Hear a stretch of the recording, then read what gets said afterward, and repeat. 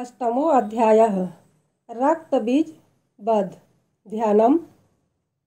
आइए, आठवां अध्याय का पाठ करना चालू करते हैं।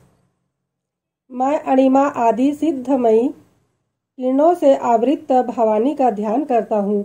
उनके शरीर का रंग लाल है, नेत्रों में करुणा लहरा रही है, तथा हाथों में पास अंकुश बाण और धनुष शोभा पाते हैं। ऋषि कहते हैं, चंड और मुंड नामक दैत्यों के मारे जाने तथा बहुत सी सेना का सहार हो जाने पर दैत्यों के राजा प्रतापी शुंभ के मन में बड़ा क्रोध हुआ और उसने दैत्यों की संपूर्ण सेना को युद्ध के लिए कुछ करने की आज्ञा दी। वह बोला, आज उदायुध नाम के छियासी दैत्य सेनापति अपनी सेनाओं के साथ युद्ध के लिए प्रस्थान करें। शंभु नाम वाले दैत्यों के चौरासी सेना नायक अपनी वाहनियों से घिरे हुए यात्रा करें।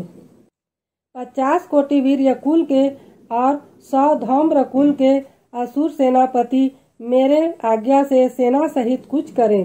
कालक दहाद मौर्य और काल के असुर भी युद्ध के लिए तैयार हो मेरी आज्ञा से तुरंत प्रस्थान करें। काम्बू नाम वाले दैत्यों के चौरासी सेना नायक अपनी वाहनी से घिरे हुए यात्रा करें।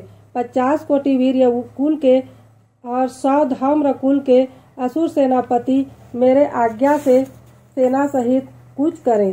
कालक तो दहाद्र मौर्य और काल के असुर भी युद्ध के लिए तैयार हों। मेरी आज्ञा से तुरंत प्रस्थान करें। भयानक शासन करने वाला असुर राज शुंभ इस प्रकार आज्ञा दे सहस्त्रों बड़ी बड़ी सेनाओं के साथ युद्ध के लिए प्रस्थित हुआ।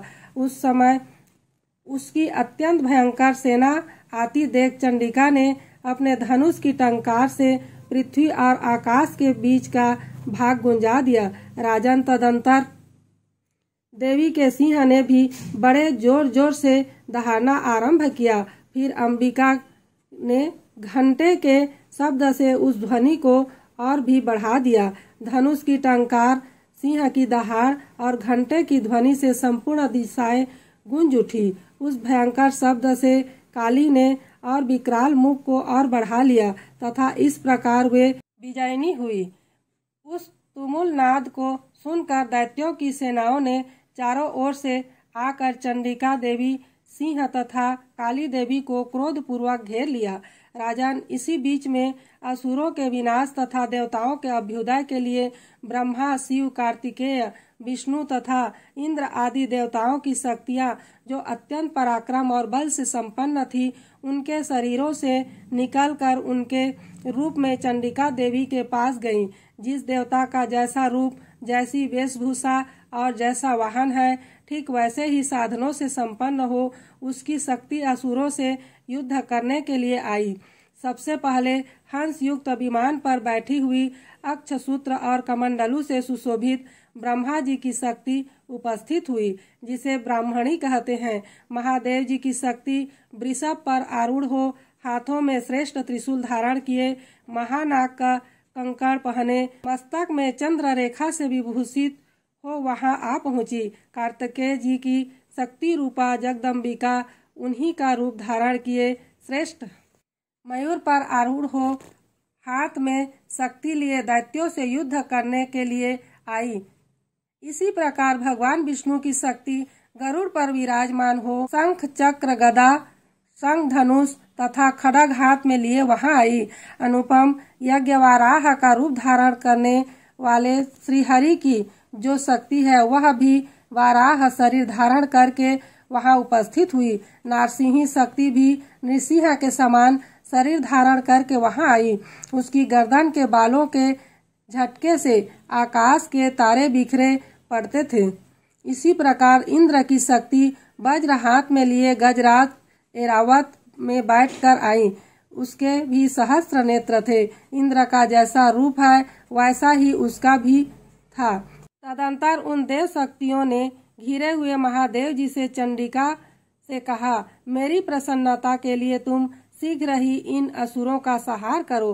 तब देवी के शरीर से अत्यंत भयानक और परम उग्र चंडिका शक्ति प्रकट हुई, जो सैकड़ों गिदड़ियों की भांति आवाज़ करने वाली थी। उस अपराजिता देवी ने धूमिल जटा वाले महादेव जी से कहा, भगवान, आप शुंभ निशुंभ के पास दूत बनकर जाइए। और उन अत्यंत गर्वीले दानव शुंभ एवं निशुंभ दोनों से कहिए।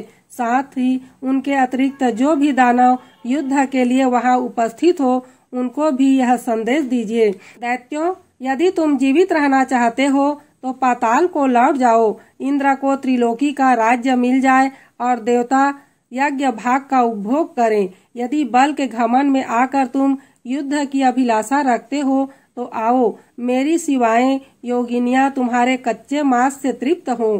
क्योंकि उस देवी ने भगवान शिव को दूत के कार्य में नियुक्त किया था, इसलिए वह शिव द्युति के नाम से संसार में विख्यात हुई। वे महादैत्य भी भगवान शिव के मुँह से देवी के वचन सुनकर क्रोध में भर गए और जहाँ कात्यायनी विराजमान थी, उस ओर बढ़े।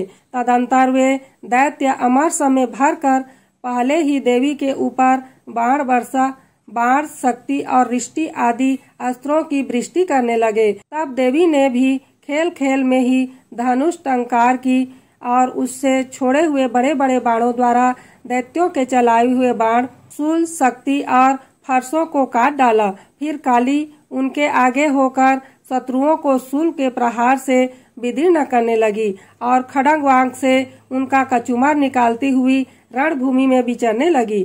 ब्रह्माणी भी जिस जिस ओर दौड़ती, उसी उसी ओर कमंडलू का जल छिड़क कर शत्रुओं के ओज और पराक्रम को नष्ट कर देती थी। माहेश्वरी ने त्रिशूल से तथा वैष्णवी ने चक्र से और अत्यंत क्रोध में भरी हुई कुमार कार्तिकेय की शक्ति ने शक्ति से दैत्यों का संहार आरंभ किया। इंद्र शक्ति के वज्र प्रहार से विदीर्ण हो, सैकड़ों दैत्य दानव रक्त की धारा बहाते हुए पृथ्वी पर सो गए। वाराही शक्ति ने कितनों को अपनी थुथुन की मार से नष्ट किया। दाढ़ों के अग्रभाग से कितनों की छाती छेद डाली तथा कितने ही दैत्य उसके चक्र की चोट से विदीर्ण होकर गिर पड़े। नारसिंह भी दूसरे दूसरे महादैत्यों को अपने नखों से विदीर्ण करके खाती और सिंह सिंहनास्त दिशाओं एवं आकाश को गुंजाती हुई युद्ध क्षेत्र में विचरने लगी।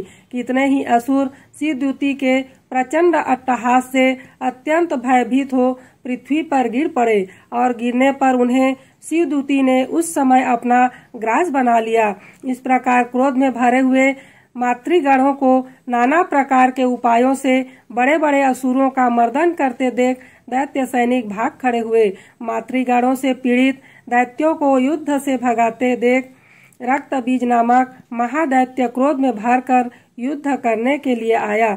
उसके शरीर से जब रक्त की बूंद पृथ्वी पर गिरती, तब उसी के समान शक्तिशाली एक दूसरा महादैत्य पृथ्वी पर पैदा हो जाता। महासुर रक्त बीज हाथ में गदा लेकर इंद्र शक्ति के साथ युद्ध करने लगा। तब इंद्री ने अपने वज्र से रक्त बीज को मार डाला। वज्र से घायल होने पर उसके शरीर से बहुत सा रक्त चूने लगा और उससे, उसी के समान रूप तथा पराक्रम वाले योद्धा उत्पन्न होने लगे। उसके शरीर से रक्त की जितनी बूंदे गिरी उतने ही पुरुष उत्पन्न हो गए।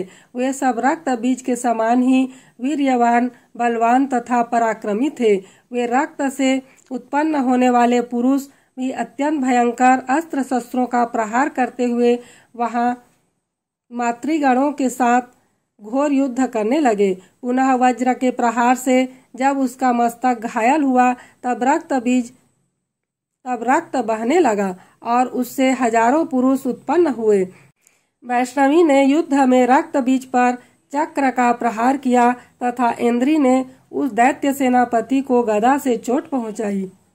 वैष्णवी के चक्र से घायल होने पर उसके शरीर से जो रक्त बहा और उससे जो उसी के बराबर आकार वाले सहस्रों महादैत्य प्रकट हुए, उनके द्वारा संपूर्ण जगत व्याप्त हो गया। कौमारी ने शक्ति से, वाराही ने खड़क से और माहेश्वरी ने त्रिशूल से महादैत्य रक्त बीज को घायल कर दिया।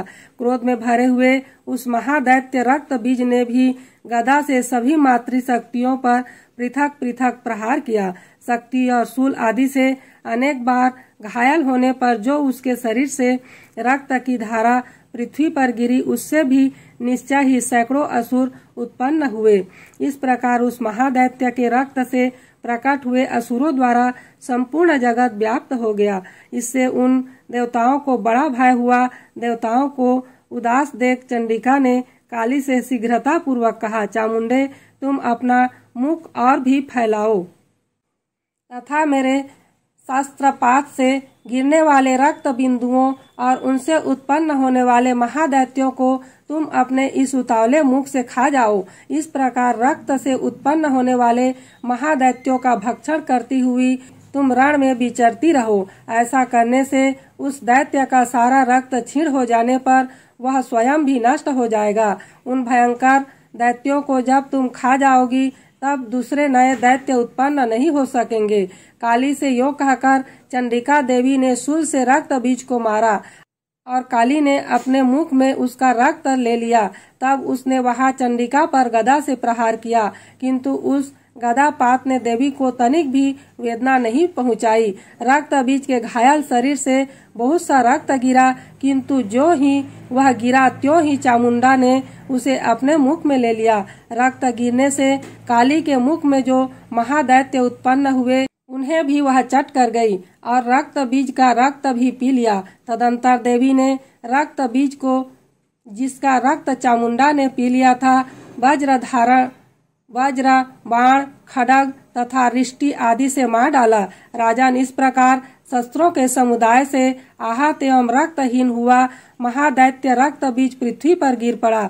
नरेश्वर, इससे देवताओं को अनुपम हर्ष की प्राप्ति हुई और मातृगण उन असुरों के रक्त पान के मद से उद्धत सा होकर नित्य करने लगा। इस प्रकार श्री मार्कंडेय पुराण में सावणिक मनवंतर की कथा के अंतर्गत देवी महात्मा में रक्त बीज बद नामक आठवां अध्याय पूरा हुआ। जय माता दी।